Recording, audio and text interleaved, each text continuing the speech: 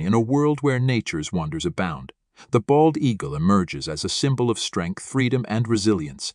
With piercing eyes that pierce the heavens and wings that command the skies, this majestic creature reigns supreme in the heart of North America's wilderness. In this captivating journey, we explore their hunting prowess, their unwavering commitment to family, and their role as environmental heroes maintaining the delicate balance of our ecosystems. Yet, it's also a story of triumph over adversity, a testament to the dedication of conservationists and the power of global commitment. Join us as we soar with the bald eagle, a living symbol of hope, resilience, and the unyielding spirit of our natural world.